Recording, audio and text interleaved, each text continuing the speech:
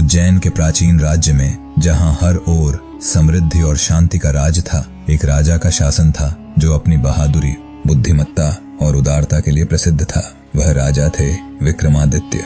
उनके दरबार में विद्वान, योद्धा और साधु संतों का जमावड़ा रहता था, जो उन्हें एक आदर्श और निर्भीक नेता के रूप में देखते थे। लेकिन हर महान राजा के जीवन में कुछ रहस्यमय और चुनौतीपूर्ण घटनाएँ घटती हैं, जो उसकी ताकत, धैर्य और न्याय की परीक्षा लेती हैं। यही घटनाएँ विक्रमादित्य के जीवन को एक दंत कथा में बदलने वाली थी। एक दिन दरबार के द्वार पर अचानक एक अनजान व्यक्ति प्रकट हुआ। वह लंबा और छायादार व्यक्तित्व था, जिसने गहरे लबादे से अपने चेहरे का अधिकांश हिस्सा ढक रखा था। जैसे ही वह दरबार में दाखिल हुआ, दरबारियों में एक हलचल सी मच गई।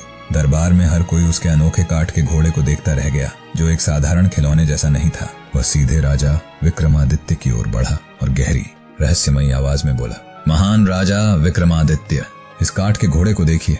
यह न कुछ खाता है और न ही कुछ पीता है, पर एक आदेश पर यह अपने सवार को किसी भी स्थान तक ले जा सकता है। विक्रमादित्य ने उसकी बात ध्यान से सुनी और उस घोड़े का निरीक्षण करने लगे। उसकी लकड़ी की सतह पर रहस्यमयी नक्काशी थी और उसकी पॉलिश से एक हल्की सी रोशनी झलक रही थी। विक्रमादित्य ने तुरंत अपने मंत्री को आदेश दिया कि उसे एक लाख स्वर्ण मुद्राएँ दी जाएँ। सिक्के स्वीकार करते समय वह अजनबी चेतावनी देते हुए बोला, महाराज इस घोड़े को कभी कोड़ा मत मारना। इसके परिणाम भयानक होंगे। जैसे ही वह व्यक्ति अंधेरे में गायब हो गया, विक्रमादित्य की जिज्ञासा ने उन्हें बेचैन कर दिया। चेतावनी को नजरअंदाज करते हुए उन्होंने घोड़े पर सवार होकर उसकी ताकत को परखने का निश्चय किया। उन्होंने हल्के से उसे कोड़ा मारा और घोड़ा एकदम हवा में उठ गया।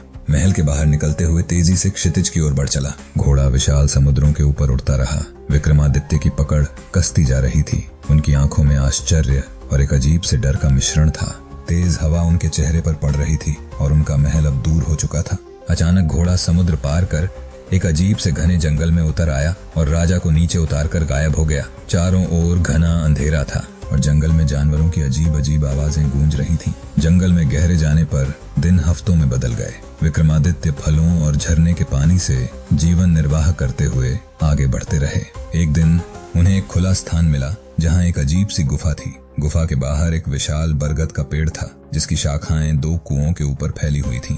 पेड़ की एक ऊँची शाखा पर एक बंदरिया बैठी थी, जो लगातार चिल्ला रही थी। विक्रमादित्य ने इस अजीब दृश्य को देखते हुए एक पेड़ के पीछे छुपकर सारा हाल जानने का निश्चय किया। दोपहर का समय था, तभी एक रहस्यमय सन्नाटा छा गया और गुफा से एक तांत्रिक बाहर निकला। वह कुएँ से पानी निकालकर बंदरिया पर छिड़कता है और आश्चर्यजनक रूप से वह बंदरिया एक सुंदर युवती में बदल जाती है। तांत्रिक हँसते हुए कहता है, तू सदा के लिए मेरी कैद में रहेगी, सुंदर। कुछ देर तक वह उसके साथ रहता है, फिर उसे वापस बंदरिया में बदलकर गुफा में लौट जाता है। विक्रमादित्य इस घटना को देखकर हैरान थे।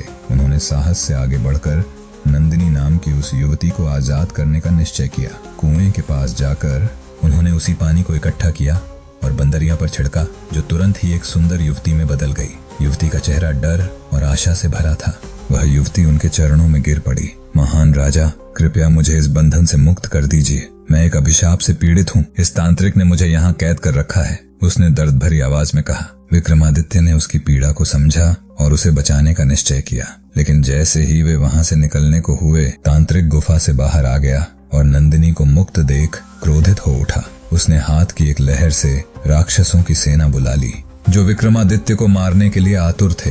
विक्रमादित्य ने अपनी तलवार निकाली और उन राक्षसों के साथ एक भयानक युद्ध शुरू कर दिया। उनकी तलवार से ज्वाला सी फूट रही थी और उनकी बहादुरी ने सारे राक्षसों को धराशायी कर दिया। जैसे ही तांत्रिक का ठहाका जंगल में गूंजा, विक्रमादित्य ने बेताल को बुलाया।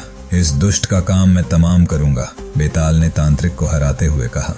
विक्रमादित्य ने उसे पाताल लोग जाने का आदेश देकर नंदिनी को आज़ादी दी।